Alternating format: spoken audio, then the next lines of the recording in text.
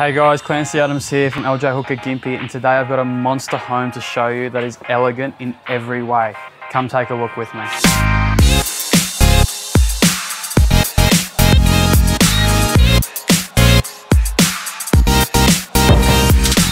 This house is going to impress the large family looking for space. It comes with five bedrooms, five living areas, three bathrooms, four toilets. You've also got a double lock-up garage and two outdoor living areas. The place is huge. Let me show you around. As you walk through the front door, you'll notice a double width hallway leading you to the main living areas of the house. This home comes with two master bedrooms, both with built-in wardrobes and en-suites. The official dining room or media room is huge, features beautiful timber floors and views overlooking the property. Upstairs you'll also find a large master bathroom that accompanies the other three bedrooms.